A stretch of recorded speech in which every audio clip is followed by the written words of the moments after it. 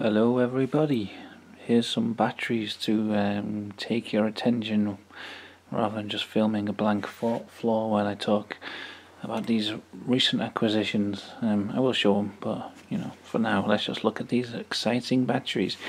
Um, I've been um, helping someone clear out their attic and they were just throwing loads of stuff in a skip so I was like, hey can I have these things?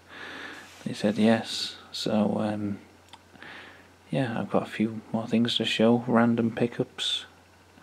Um, most of them are of a gaming nature, more tabletop gaming than computer gaming, which is something else that I, you know, another type of gaming I enjoy. Um, I'm not a massive tabletop gamer. I just kind of play Carcassonne and Dominion, and that's probably about it really. Um, but it's something that I've always had a bit of an interest in. And um, anyway I'll, I'll, talk about it a bit more. So anyway the first couple of things I picked up trying to get them on camera is well things I found randomly in the bottom of a bag. Yeah, these uh, metal Warhammer 40k miniatures. There's the first one. This is nine from you can read along the bottom I don't know if you can make it out. A Marine Captain, Space Marine Captain, and this is from 1990. Um, yeah, Warhammer. I've always really loved the um, miniature painting aspect of it.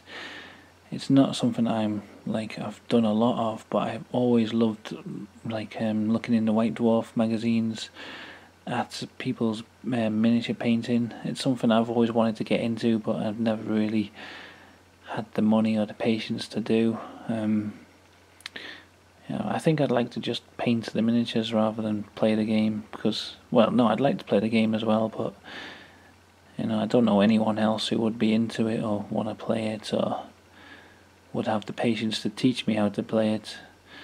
Um, and plus it's just such an expensive thing buying all the miniatures and building an army.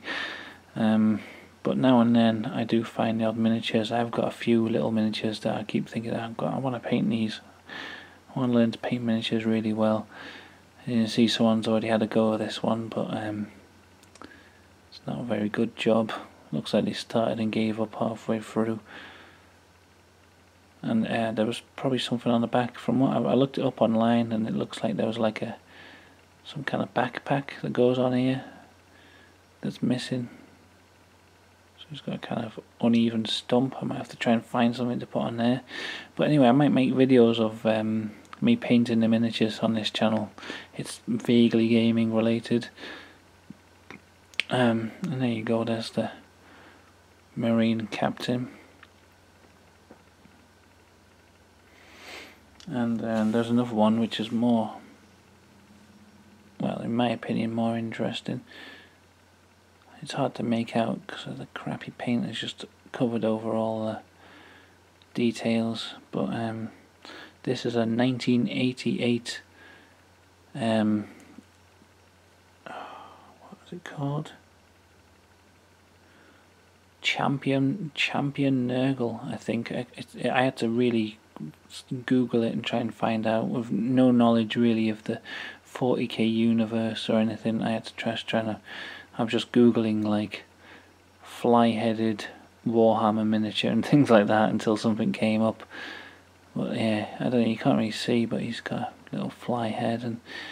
It kind of reminded me, like while I was googling it all, it kind of reminded me of another thing that I really like about the Warhammer games is um, all the like fiction and the artwork surrounding the, the miniatures and the games.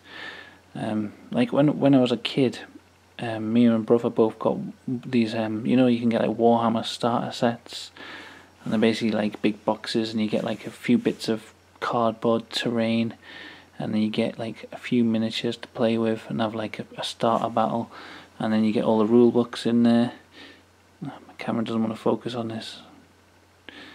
But well, anyway, um, I got uh, my brother got the 40k box, and I got one called Necromunda, and um, I remember just really loving reading through all the the rule books because it had all this like amazing artwork in there, and uh, you know I've always been interested in art, and um, all these like backstories and things, all these like really, really amazing like stories and stuff, just just like the the way they build the world. Um, I always found really incredible. It's you know, I wish I did have more patience to actually learn the rules and things back then. I did, we didn't really. We were just kids, so we didn't really have the patience to actually learn to play the game properly. But I did used to spend a long time reading the books and looking at the artwork and stuff and people's painted miniatures. So um, yeah, that's that. And these are, as I was reading through, these are like the Nurgle are like kind of uh, rot chaos chaos marines or I, I don't know. They're basically like rotting. I don't know. It's like a god of um, decay and disease, and the the decay that he spreads. He's got like worshippers and things, and there's marines that fight for him, and they're all like rotted and diseased, and this guy's got a fly head. Yeah, I mean, I'm no expert on these by any means, but that's from that little bit I read. I thought, wow, that's yeah, that reminds me of like what I used to really like about these these things. What got me interested in 40 40k and Warhammer in the beginning. Um, so yeah, I might do some videos of me painting them. I'm gonna have to strip the paint off them begin with. This one's got a really awful paint job. I don't know what the hell they were thinking. Whoever painted this. Anyway, there we go, two little miniatures, and I've spent six, seven minutes bloody talking about nonsense. Here's another thing I got, I'll zoom out a little bit.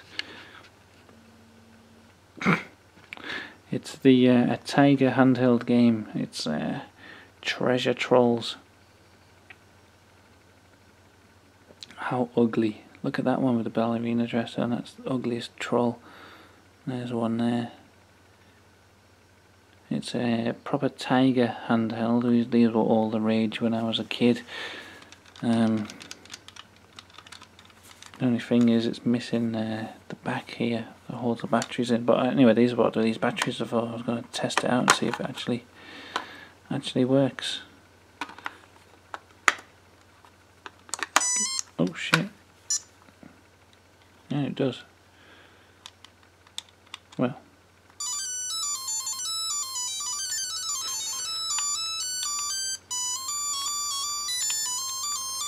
I can't see anything on that screen.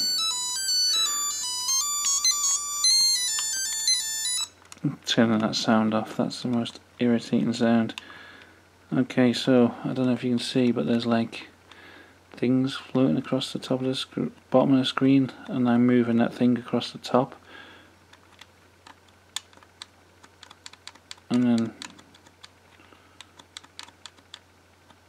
oh, no idea what's going on none of this makes any sense. I'm sure there was rules with it. But there you go. So that's that was a random thing.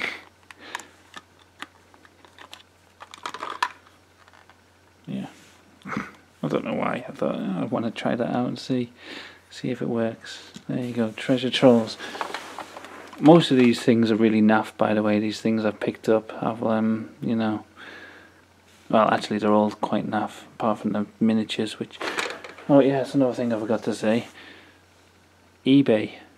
This this figure here. I don't know about the other one, but this figure, 1988 Nerg, Champion Nurgle, or whatever it's called. 15 quid for a little bit of metal like that. Well, I guess you'd have to strip the paint off it first, but 15 quid people are selling that for. Anyway, here's the next thing. It's... Uh, Adventure Park. It needs skill, but it's great fun, and it cost a whole two ninety nine from Phoenix in Newcastle. Can you get around before your friends? It needs skill, but it's great fun. And uh, yeah, there you go. It's one of them screwball scramble type of things, but like a really cheap version. so as you can see not really played it I'll just see if I can get the ball zoom in a bit. The balls are still there, the original balls, because they're all like rusty and stuff. Don't know what that spits for. Alright, put it in start. And I guess we go. Oh, I've already died. Still got to be more careful than I am. Oh, yes, I'm doing it. Shit. Okay, you can see, you can you can get the idea there. And uh, I guess you Let's cheat. Let's pretend I got round. Oh, I'm in the water.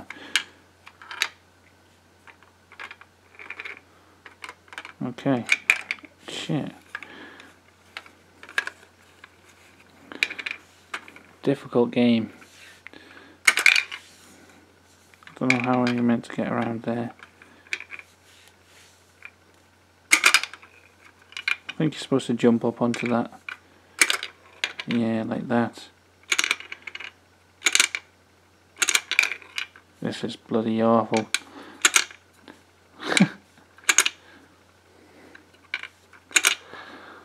Who knows? It's just it's just badly made really. It's it doesn't the ball doesn't fly in the right direction and it's kinda like random whether they whether you're gonna succeed or not, I think. Yeah, see that? That just sort of launches the ball in any direction. Not towards, I think you're supposed to get it here, but... Oh. Oh, I see, you're supposed to bounce it into that one. Then into that one. The thing is, because it's quite old, and the buttons kind of stick, so when they pop up, they really fire the ball up into the air. So there you go, that's uh, the Amazing Adventure Park game. So that's that. Anyway, last one. This is probably the most naff of them all, but um, it's something I saw, and it's something that when I was a kid, this was uh, this was the shit. This was the thing that everyone wanted. Dizzy Dizzy Dinosaur game.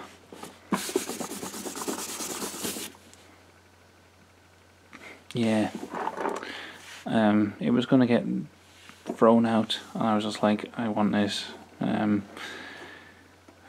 my memories of Dizzy Dizzy Dinosaur is, um, at, you know, at the end of the school year when everyone was able to bring in their own toys, or they were in my school, someone would always bring in Dizzy Dizzy Dinosaur, and all that everyone would go, oh my god, Dizzy Dizzy Dinosaur, because everyone wanted it, and no one had it apart from like probably one person and then no one would actually read the rules or know the rules. We would just kind of get everything out and then just just kind of piss about with the dinosaur. No one would ever play it properly. So I still don't know what the rules were. I know you've got to go around with your people somehow, get to the middle, but then there's a dizzy, dizzy, dizzy dinosaur who will think he sort of spins around. Let's try. I don't even know if the mechanism's still working. Yeah. So he spins around randomly and then shoots off in one direction and knocks over whoever's in the way. And this game was quite aggressively marketed to kids in the 80s and early 90s. So of course, yeah, we all went crazy whenever someone brought out Dizzy Dizzy Dinosaur, but and then no one would play it properly. We just wouldn't, you know, we just go, oh my god, dinosaur, knocking all things over. And um, yeah, I always felt a bit frustrated that we had never had a proper game of Dizzy Dizzy Dinosaur. So I still don't know when I would ever get a chance to play this game. I don't know who in their right mind would play Dizzy Dizzy Dinosaur with me, but there you go. Look, it's all there. I think. Maybe there's a few bits missing. I don't know. I mean, there's five green ones, only four yellows. So yeah, there's probably a yellow piece and a blue piece. I think there's one yellow guy missing, maybe. Yeah, so you can't play as a yellow. I always play as green anyway. Cool little pieces. They've got nice cartoons on them. There, there you go. That's my random acquisitions. They're really naff, but um, I'm one of them people I can't stand to see things getting thrown away. And um, I thought I'd pick them up. So maybe I could find some way to combine all these things together, like Warhammer, Dizzy Dinosaur with uh, Shark or Crocodile Adventure Park mixed in the middle. You've got to get him across the bridge. I don't know, no. Anyway, there's there's my pickups. Amazing gaming pickups, so thanks for watching, bye.